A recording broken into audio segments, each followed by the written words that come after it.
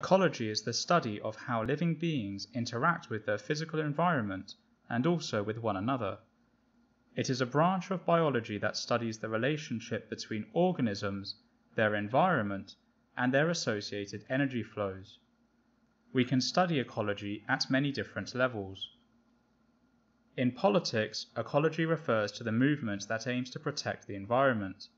Most green parties across the world focus on ecological issues and protecting our environment.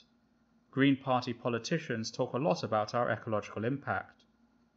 Our ecological impact is the effect that we are having on the environment. People who study ecology often focus on specific organisms to determine an environment's health. For example, the presence of lichens may suggest air pollution. In this context, lichens are ecological indicators, that is, they give us information about our ecosystem. The terms ecology and ecosystem have different meanings. An ecosystem consists of two factors, biotic and abiotic factors.